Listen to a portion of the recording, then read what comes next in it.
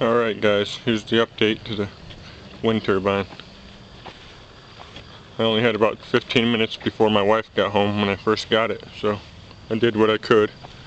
Then I went to work for a couple hours, and I came home and still had some sunlight left. Actually, it's only 10 of 7 now, and the WindMax is up on this 20 foot tower.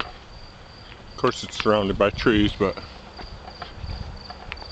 you can't always get the best of everything, but the old turbine actually worked quite a bit out here, even though there's trees all around.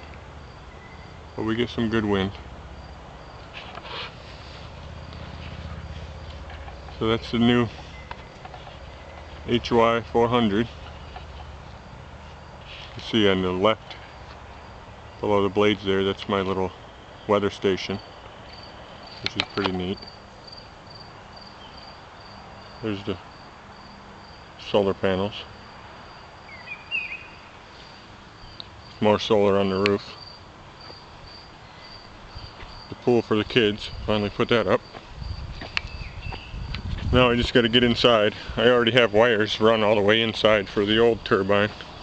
So I just got to get in here and hook up the charge controller and the, the hybrid controller there with the dump load.